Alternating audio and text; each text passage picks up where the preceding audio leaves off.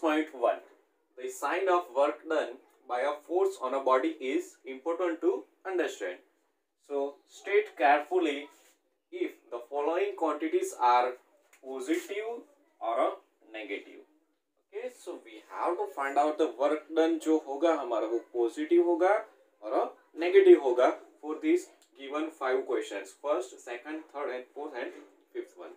ठीक है चलो so now as we know that W is equal to what? W is equal to we already derived one equation. So work done W is equal to F D cos theta.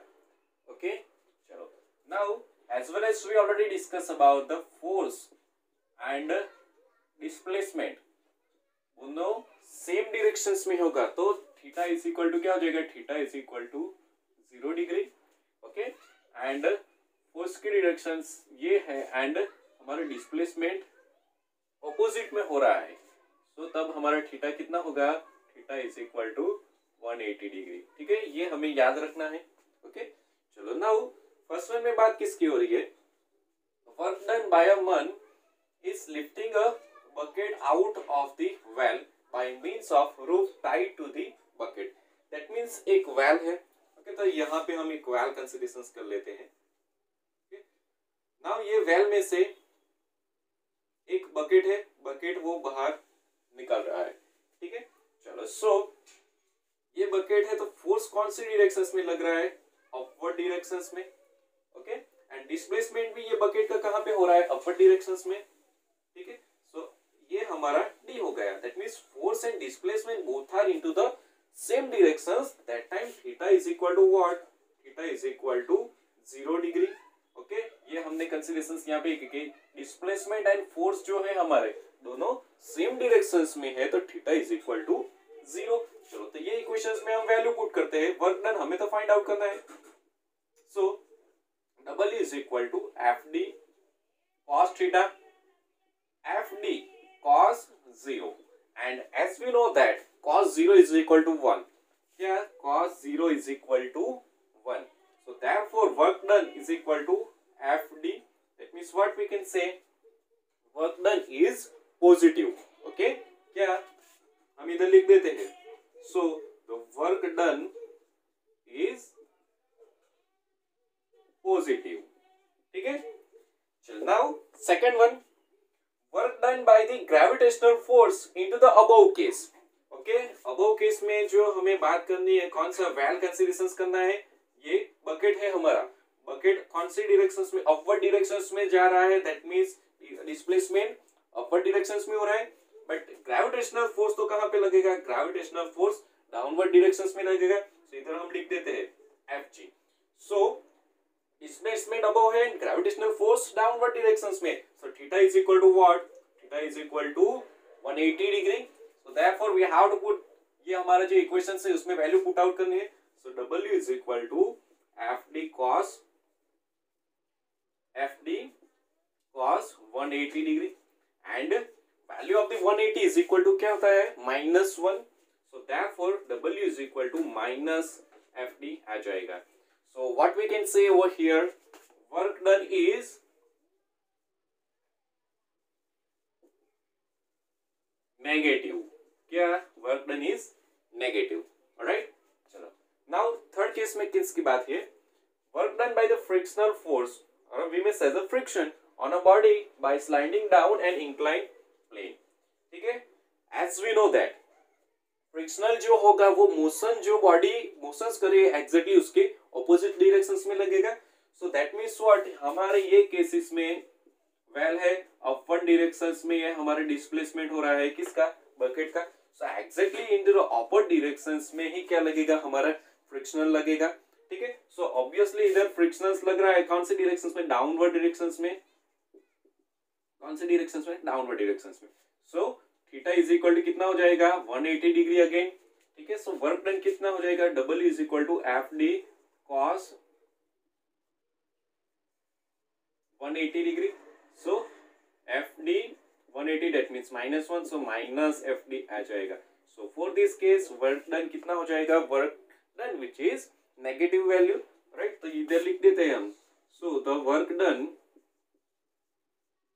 is negative right चलो now fourth number work done by the applied force on a body moving with the rough horizontal plane with uniform velocity चलो so so, well है हमारा right right? ये हमारा bucket है। Bucket कौन सी direction में जाएगा? अपर डिरेक्शन में डिस्प्लेसमेंट हो रहा है एंड अप्लाइड फोर्स भी, भी ऑब्वियसली हम ऊपर से ही है ठीक है? सो वो क्या है हमारा applied force F upper direction as well as as displacement ही अपर डायरेक्शन में रहा है तो थीटा इज़ इक्वल टू क्या हो जाएगा यहाँ पे? ज़ीरो ठीक है? Angle between this one are into the same directions so that's why theta is equal to zero. So double e is equal to F D cos कितना होता है? F D cos zero and cos zero की value कितनी होती है? One so therefore F D आ जाएगी हमारी value that means what we can say work done is positive क्या? Work done is positive right चलो now last case work done by the resistive force of air okay and यहाँ पे resistive force है but because of the air है. So obviously वो हमारा जो motions हो रही है बकेट का, उसका क्या करेगा? अपोज करेगा. सो देयरफॉर इधर हमने लिख दिया है कि resistance force of the air तो वो क्या करेगा? Oppose the motions of the bucket so therefore simple यहाँ पे हम समझे कि वेल है, ये बकेट है हमारा. अपर डायरेक्शंस में जाएगा. सो अपर डायरेक्शंस में डिस्प्लेसमेंट हो रहा है. एंड यहाँ पे एयर का रेजिस्टिव फोर्स लग रहा है. बट वो कौन से डायरेक्शंस में डाउनवर्ड डायरेक्शंस में सो डाउनवर्ड डायरेक्शंस में है। तो डिस्प्लेसमेंट इन दोनों का बीच का एंगल कितना होगा? 180 डिग्री। तो therefore W is equal to क्या जाएगा? Minus F D.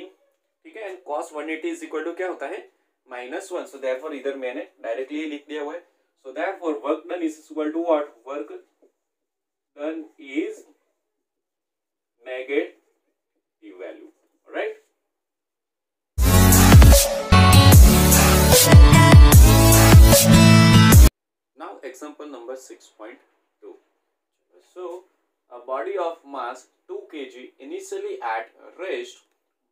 under the actions for an applied horizontal force 7 newton on a table with coefficient of kinetic friction 0.1 so first one find out a work done by the applied force in 10 second. Then second one work done by the frictional force in 10 second. Third one work done by the net force on the body in 10 second.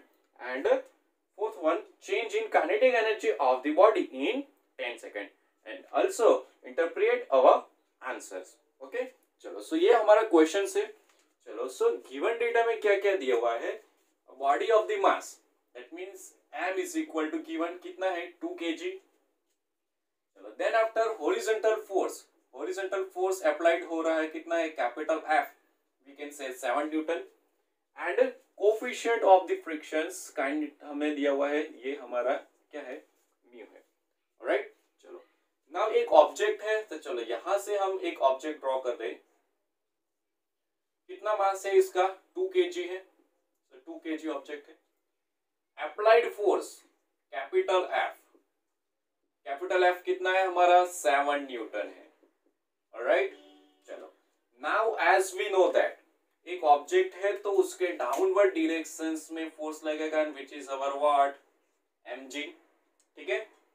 And upper direction में कौन सा force लगता है? Normal reaction force ठीक अभी ये direction में हमारा फोर्स लग रहा है सो एग्जैक्टली ऑपोजिट डायरेक्शंस में क्या लगेगा? Frictional force and frictional force को हम स्मॉल एफ़ से डिफाइन कर लेते हैं ठीक है? एंड यहाँ पे हमारा कोफिशिएंट दिया हुआ है mu mu is equal to कितना है? ज़ीरो पॉइंट वन ठीक है? चलो सो so, ये फोर पॉइंट हमें फाइंड आउट करना है। Work done for the all different different force के लिए हमें वर्क डन फाइंड आउट करना है। As well as we have to find out the kinetic energy so first one we have to find out the frictional force small F हमें find out करना है। चलो so small f is equal to what we can say small f is equal to we can say mu into N as we discuss into the chapter number 5 we discuss about the frictional force is equal to mu multiplication of N but as it is है N की जगह पे हम क्या लिख सकते हैं? According to figure configuration N is equal to m g so यहाँ पे एन की जगह पे हम क्या लिख सकते हैं? एम जी लिख सकते हैं। ठीक है? सो म्यू की वैल्यू हमें पता है mu is equal to given data में है ही zero point one m mass of the object कितना है? टू के जी एंड जी हमें क्या कंसिडरेशन करना है? नाइन पॉइंट एट ठीक है? सो ये स्मॉल एफ़ की वैल्यू हमें मिल जाएगी and our answer is what calcium में कैलकुलेट करेंगे तो हमारा आंसर क्या जाएगा? One point ninety six newton so this is our value for the frictional force ये जो है, उसकी वैल्यू हमें मिल गई। ठीक है? जो नेट फोर्स कितना होगा? सो नेट फोर्स को डिफाइन किया हुआ है एफ़ डैश से। So f dash is equal to what capital F that means applied force minus frictional force small f ठीक है? सो कैपिटल एफ़ की वैल्यू कितनी है? सेवन न्यूटन माइनस कितना है हमारा फ्रिक्शनल फोर्स आइडेंटिफाई किया वो 1.96 ओके चलो अभी इसका भी हमें सिंप्लीफिकेशन करना है। Our answer is what 5.04 newton. ठीक है? So this is our net force, F dash ठीक है? चलो। Now, as well as we have to find out the acceleration, so as we know that F is equal to ma क्या F is equal to ma so, A is equal to what? A is equal to F dash divided by m. क्या as we know that f is equal to m a so a का equations क्या हो जाएगा? F dash divide by m and f dash तो हमें अभी find out किया है, कितना है? 5.04 whole divide by m m कितना है हमारा? टू है, ठीक है? सो इसका भी हम कैलकुलेशंस करेंगे तो हमारा आंसर कितना आ जाएगा? 2.52 and unit of the accelerations meter per second square.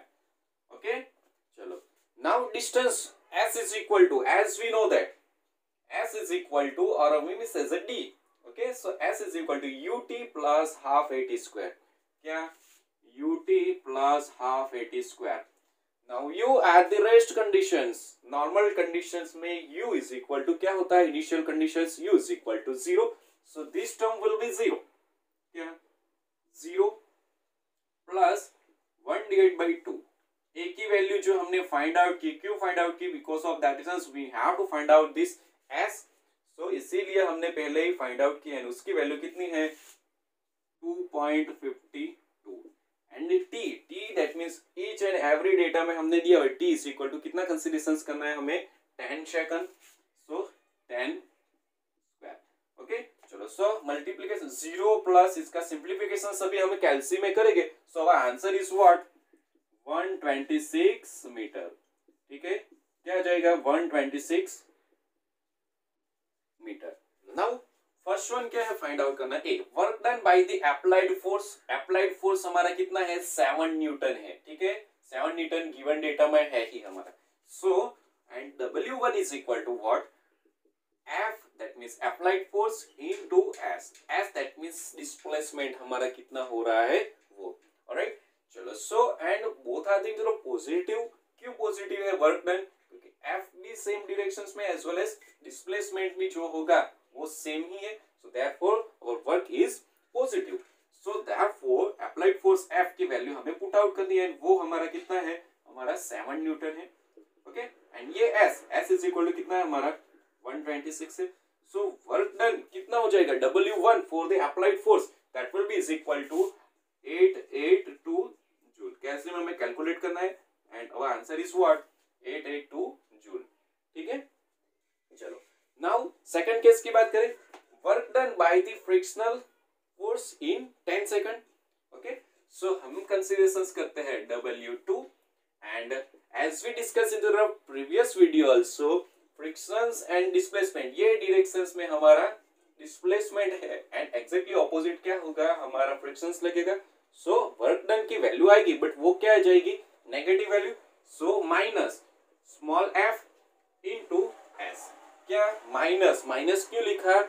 Opposite directions होगा डिस्प्लेसमेंट के that's why we have to consider as a negative so minus f minus था एज इट इज़ ये एफ़ एफ़ की value already हमने define किया कितना है? 1.96 ठीक है? And s is equal to क्या है हमारा? 126 6 all right so, our answer is what? Minus 246.9 so, this is our w2 and unit of the work done. किसमें होता है जुल होता है, ठीक है? सो ये एक सेकंड केस चलो नाउ थर्ड वन में क्या फाइंड आउट करना है? Work done by the net force on the body in time second that means we can say as a w3 is equal to net force को हमने define किया है f dash से. So f dash into s and f dash की value कितनी है हमने find out किए f dash is equal to 5.04 multiplication of 126 and our answer is what? 635 joule. Okay? now fourth case. Change in kinetic energy हमें find out करना है and as we know that final kinetic energy minus initial kinetic energy चलो so हम लिख देते हैं. Change in kinetic energy is equal to what 1 divide by 2 m v square that means final value minus 1 divided by 2 initial value alright so initial के लिए u is equal to तो क्या है हमारा जीरो तो दैट मीन्स ये पूरा का पूरा टर्म जीरो हो जाएगा so one divide by two M V square minus zero so therefore one divide by two M v square but we don't have value of this v so as we know that v is equal to u plus 80 क्या? As we know that v is equal to u plus 80 so, u की value तो zero है. ए हमने find out किया है. ए की value कितनी है? हमारा एक्सलरेशन 2.52 मल्टीप्लिकेशन ऑफ़ टी तो टी हमारा कितना है? 10 सेकंड है. सो देयरफॉर 25.2 मीटर पर सेकंड हमारी वैल्यू ऑफ़ द यू आ जाएगा. ये जो वैल्यू है, हमें कहाँ पे रखनी है? यहाँ पे सो हमें चेंज इन काइनेटिक एनर्जी मिल जाएगी। So one divide by two multiplication of m m तो ऑलरेडी गिवन डेटा में है कितना है? टू है। And multiplication of this one twenty five 25.2 whole square okay? And uh, our answer is what? Our answer is 635 joule ठीक है? So ये हमारा फोर्थ का आंसर हो जाएगा। And as well as they are asking about our result हमें क्या है? इधर दिख सकता है।